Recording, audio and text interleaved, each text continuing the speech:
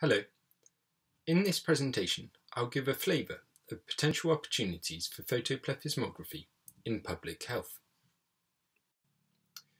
Cardiovascular disease accounts for over a quarter of deaths in the UK. During this talk alone, it will cause three hospital admissions, five deaths, and result in £250,000 in healthcare costs. The widespread use of wearables provides opportunity to assess cardiovascular health in daily life and potentially reduce the burden of cardiovascular disease. Indeed, it's expected that this year there will be over 1 billion wearables globally.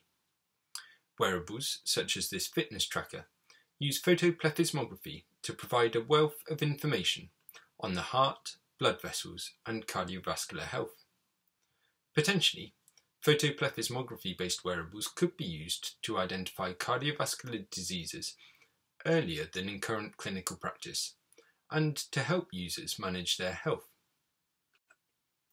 To introduce myself, my name is Peter Charlton and I'm a researcher at the University of Cambridge and at City, University of London. I work alongside clinical colleagues, such as at St Thomas's Hospital, shown here, to develop signal processing techniques for wearables, which could be used for clinical decision making. In this talk, I'll provide an overview of the most promising opportunities to use photoplethysmography in public health. I'll introduce photoplethysmography, covering the physiological and technical fundamentals. I'll then discuss potential clinical applications, drawing on real life examples of how they could be used to improve health outcomes. Finally, I'll highlight pressing directions for future research to ensure photoplethysmography can be used to inform clinical decisions safely and robustly. Firstly, the fundamentals of photoplethysmography. The development of photoplethysmography devices has taken place in two arenas, clinical and consumer settings photoplethysmography was developed in the 1930s. Researchers quickly realised that the shape of the pulse wave provides much information on cardiovascular health and differs between healthy and diseased subjects. It wasn't until almost a, cent- a half a century later that photoplethysmography entered clinical use.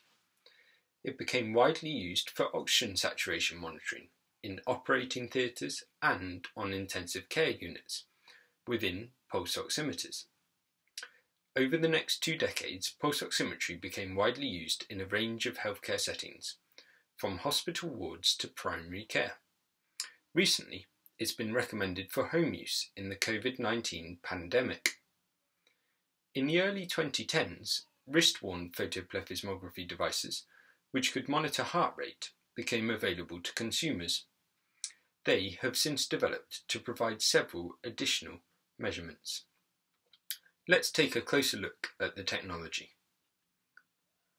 The photoplethysmogram, or PPG for short, is widely measured by pulse oximeters to measure oxygen saturation and by consumer devices such as fitness trackers, smartwatches and smart rings.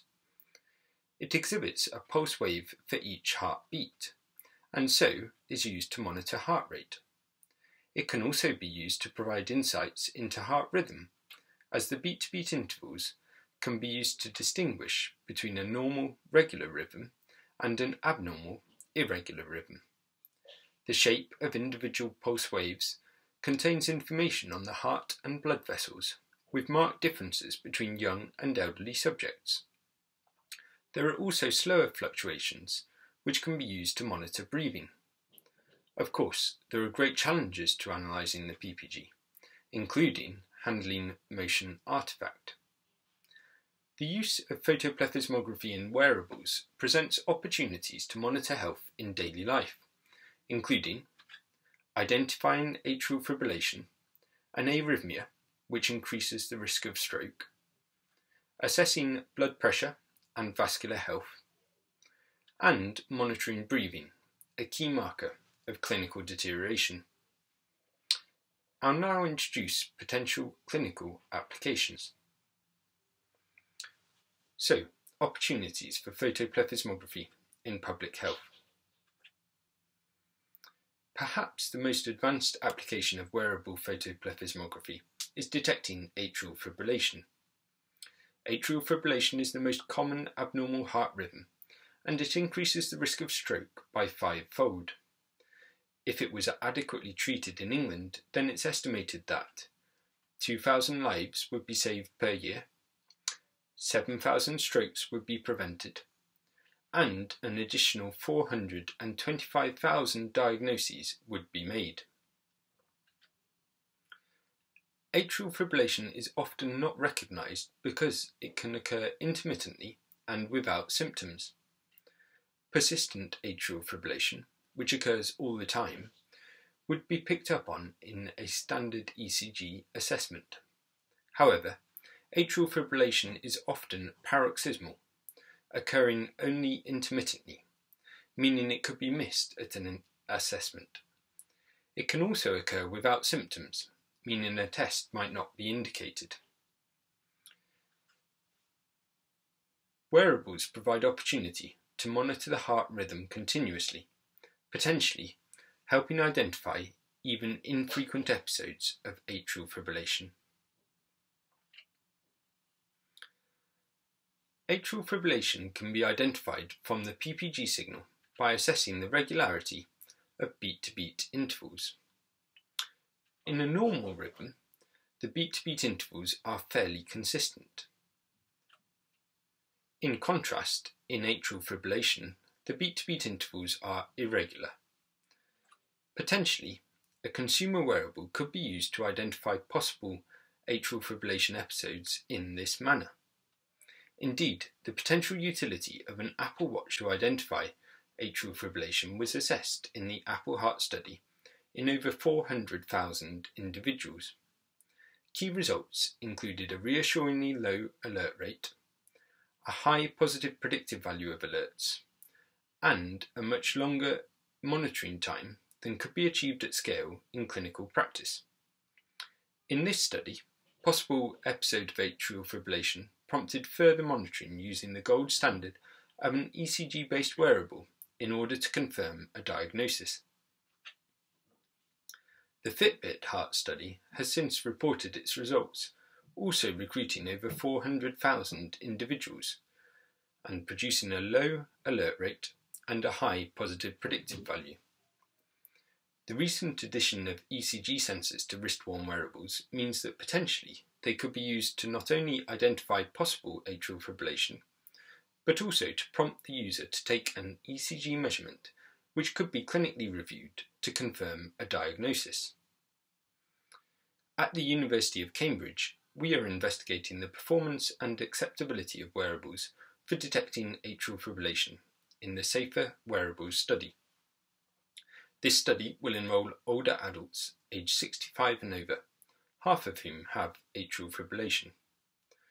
Participants will be asked to wear two wrist-worn devices, an ECG device and a PPG device, alongside an ECG chest patch which will provide reference labels of atrial fibrillation.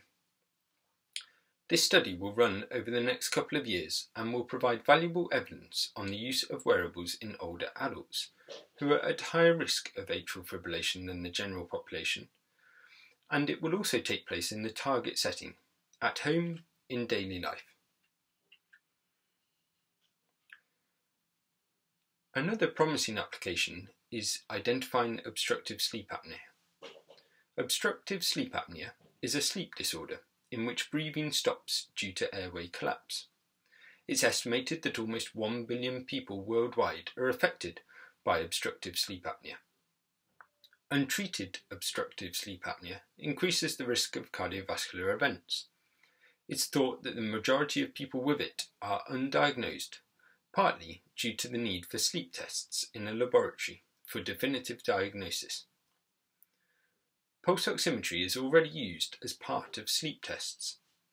Wearables provide opportunity to obtain these data unobtrusively in daily life and could potentially be used to detect obstructive sleep apnea. Indeed, evidence is emerging indicating that wearables could be used to screen for obstructive sleep apnea, with a comparable accuracy to clinical screening. A key step now is to ensure that oxygen saturation monitoring in wearables is sufficiently accurate to identify obstructive sleep apnea. In the future, fitness trackers could be used to monitor the spread of infectious diseases in society and even identify symptoms in individuals. Information on the spread of infectious diseases can be used to direct healthcare resources, plan public health interventions, and potentially even provide early warning to individuals that they may be infected. Recently, the potential benefits of using Fitbit data to track influenza like illness were assessed, using at least 60 days of data from almost 50,000 people in the US. An elevated resting heart rate and increased sleep duration were used as markers of disease. The study found that the inclusion of Fitbit data improved the performance of disease prediction models, which could help ensure timely responses to reduce further transmission.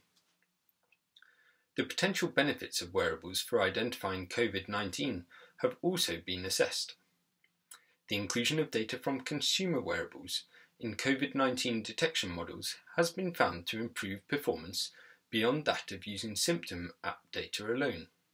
Several parameters were used in these studies relating to heart rate, sleep, and activity. In the future, early warning systems could integrate wearable data, self reported symptoms, and electronic health record data, providing both population level and individual level surveillance. In the future, fitness trackers could also be used for cardiovascular risk assessment. Blood pressure monitoring would be perhaps the most exciting addition to wearable photoplethysmography devices. A few years ago, many, many wristbands provided blood pressure monitoring, although none were found to be validated. Since then, some wristbands have been validated and approved, although recent guidelines advise against their use, and a new standard is being developed with which to validate them. One potential application of blood pressure monitoring would be to continuously check for signs of preeclampsia in pregnancy. Technology has also been developed to use photoplethysmography to assess vascular age, the biological age of the arteries, which is indicative of cardiovascular risk. Photoplethysmography measurements provided by wearables could be used to assess arteriosclerosis, the natural stiffening of the arteries with age. Clinical devices have been developed which use photoplethysmography to assess atherosclerosis, the buildup of plaque, which is a common cause of peripheral vascular disease. Finally, it's well known that the rate at which the heart rate recovers after exercise is indicative of cardiovascular risk. Wearables provide opportunity to assess this in daily life, rather than only in clinical settings. Furthermore, recent work has demonstrated the potential utility of wearables for identifying periods of walking in daily life, which could provide a basis for assessing cardiovascular health in a similar way to the six minute walk tests currently performed in clinical settings. Hence, there is great potential for photoplethysmography to aid cardiovascular risk assessment, although much of this is still in development. So, areas for future research to realise the potential of photoplethysmography in public health. Firstly, devices will continue to be optimized to provide the best possible signals for analysis. Particular challenges include obtaining high quality signals during movement and accounting for the effect of contact pressure on measurements. Secondly, signal processing algorithms must be robust to provide accurate and precise parameters.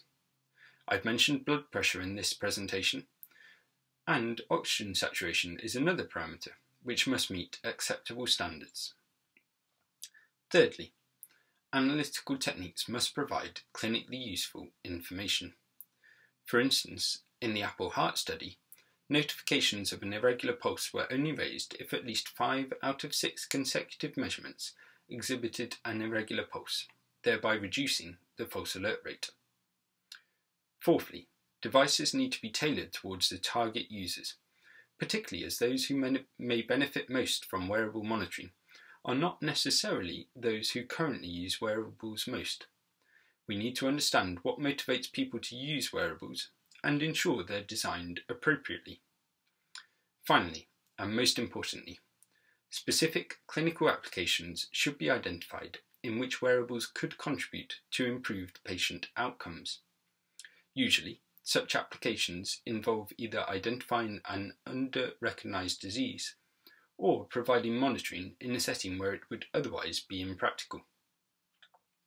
To conclude, there is great opportunity to use photoplethysmography in public health. Clinical applications are emerging, including detecting atrial fibrillation. And when used clinically, photoplethysmography should be like a climbing rope. It should be highly reliable, validated, and used for specific purposes.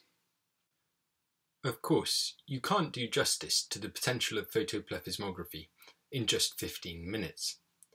For more information, see my website and our review of wearable photoplethysmography for cardiovascular monitoring. Thanks for listening.